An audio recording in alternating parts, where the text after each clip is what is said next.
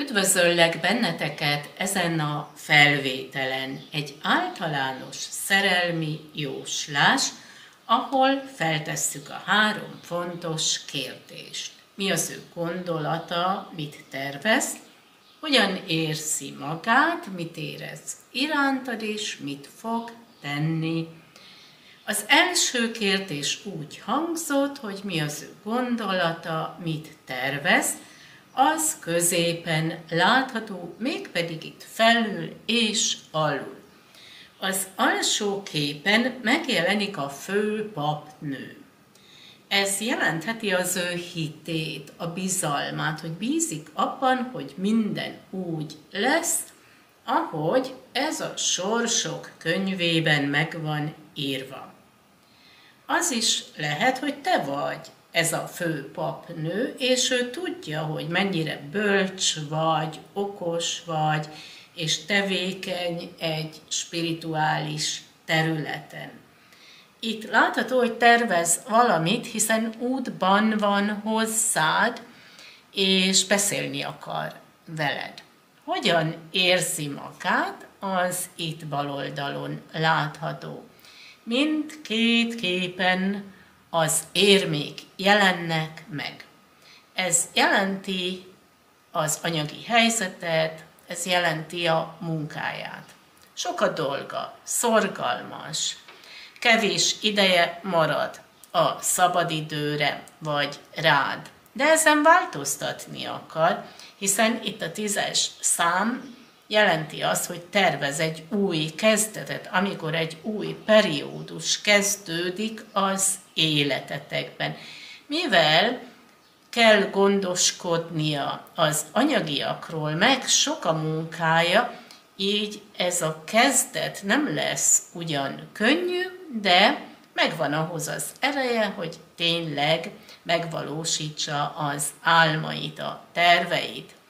Itt is látható, hogy útban van hozzád, a kezében van ez a kincs, ez jelenti az anyagiakat, a munkát, ott is lesznek majd változások, ami kettőtöket illet, vagy lesz anyagi segítség részéről, vagy kimutatja azt, hogy mennyire értékes vagy számára.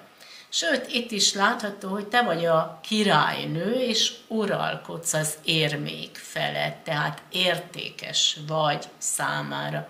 De ahogy a képen látjuk, itt lesz testi közeledés is. Ha te egy hölgy vagy, te is kezedbe veszed az érméket, és itt kell az egyensúly, mégpedig a kiadás, bevétel egyensúlyban kell, hogy legyen. Ez az egyensúly jelenti a belső egyensúlyt, a lelki nyugalmat is, amikor tudatában vagy azzal, hogy értékes vagy számára. Amit a kép még jelenthet, két ajánlat, ez lett két munkahelyi ajánlat is, és döntések előtt állsz. Itt megjelenik az egész világ, ez lehet külföldi kapcsolat vagy utazás. És megnézzük, hogy mit mutatnak még a kártyák.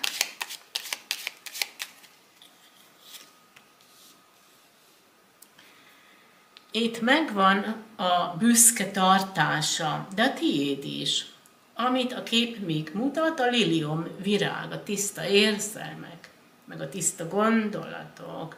Az is lehet, hogy ő tisztázni akar veled valamit. Itt néha anyagiakról, értékekről van szó.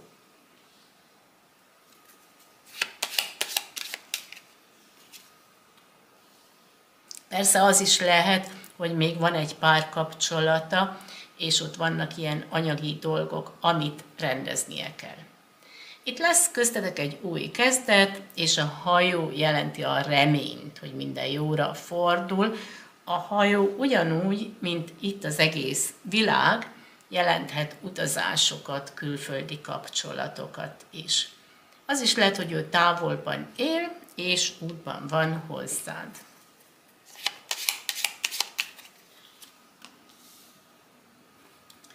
Itt a ház jelentheti a te otthonodat, vagy az ő otthonát, ahol rendez valamit.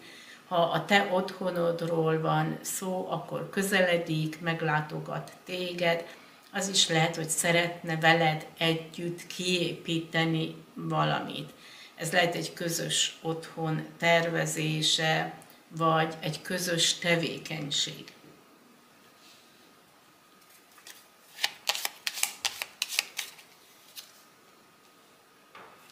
Itt is látható, hogy lesz mozgás, előre mennek az események, közeledik hozzád.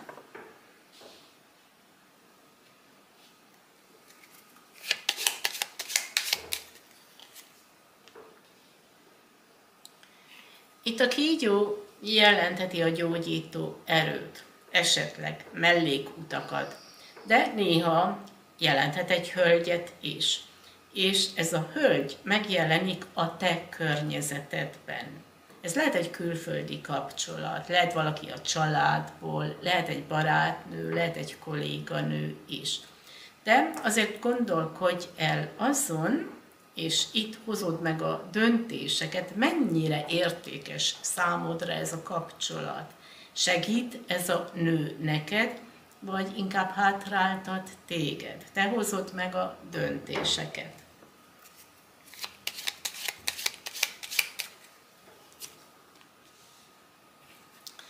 Itt a hegy jelentheti a hegyvidéket, vagy a téli hónapokat, hogy nem kell elsietni a dolgokat, ráérsz majd a téli hónapokban ezeket a döntéseket meghozni.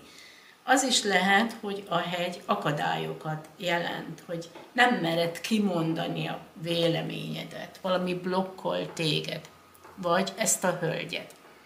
És Visszatérve a lelki társadra, megnézzük az ő jelenlegi helyzetét. Nála lesznek változások, hiszen a gólyák a változásokra utalnak, vagy megváltozik a külseje, vagy megváltozik a hozzáállása, vagy lesz egy munkahelyi változás, vagy lesz egy költözködés és most megnézzük a te jelenlegi helyzetedet. Itt kisüt a nap, tisztázódnak bizonyos dolgok, vagy segít abban, hogy legyen egy jó, okos döntés. Itt középen látható a magyar kártya, amit a férjem készített. Itt a betűkről és a régi írásmódról van szó, az úgy nevezett rovás írásról. Megnézzük, mit jelent az A betű. Ez lehet egy név, például Ágnes, Ágota, Ábrahám, Árpád. Lehet egy helység is, de nekem nem jut eszembe most helység.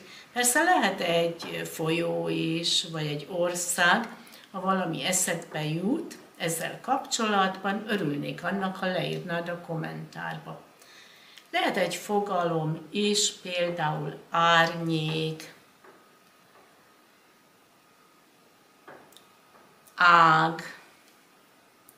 Most hirtelen nem jut eszembe más fogalom, de leírhatod a kommentárba, ami neked eszedbe jut. A régi írásmód itt van középen, itt látható egy egyenes út. Mondjuk azt, ez az életút. Itt kitértek az életutatokból, lesznek itt kapcsolatok, találkozások, döntések, de lesz utána ilyen visszahúzódás is. Visszatértek az eredeti útra. Ez lehet egy mellékút, vagy külső hatások. És ez volt az általános jóslás. Természetesen ez a jóslás megrendelhető. A díja, mint mindig minden jóslásnál 4000 forint, védikus asztrológiával együtt 10.000 forint. És ha tetszett ez a videó, örülnék annak, ha lájkolnád, és jelentkeznél a csatornámra. Köszönöm szépen! És én kívánok egy szép napot, nagyon sok szeretettel, Dendera.